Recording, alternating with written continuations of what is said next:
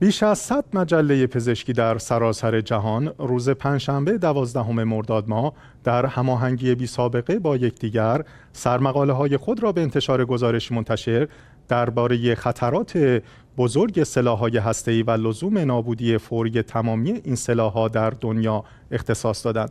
در این گزارش آمده است که خطر فاجعه هسته‌ای بسیار بزرگ و رو به رشد است و از متخصصان پزشکی و حوزه بهداشت خواسته شده تا شهروندان و رهبران سیاسی جهان را درباره مذرات و خطراتی که سلاح‌های هسته‌ای برای سلامت عمومی مردم جهان دارند آگاه کنند.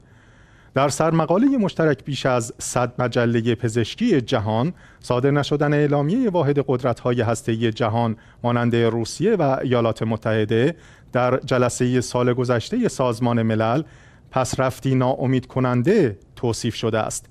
همزمان با چاپ این سرمقاله جلسه کمیته مقدماتی برای بررسی معاهده منع گسترش سلاح‌های هسته‌ای سازمان ملل هم در وین برگزار شده است. معاهده ای که در سال 1970 برای تمامی کشورهای جهان لازم اجرا شد. اما برخی کشورهای جهان بسیاری از مفاد آن را در دهه‌های اخیر زیر پا گذاشتند.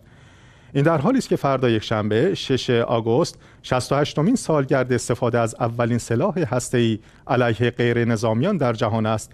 روزی که ارتش ایالات متحده یک بمب اتمی قولپیکر را بر فراز شهر هیروشیما در ژاپن منفجر کرد و فاجعه انسانی و زیست محیطی را به وجود آورد.